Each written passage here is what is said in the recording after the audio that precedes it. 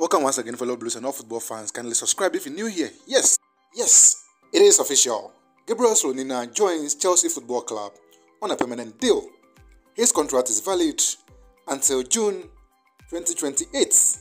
Slonina will return to Chicago Fire and play in the MLS League until January 2023.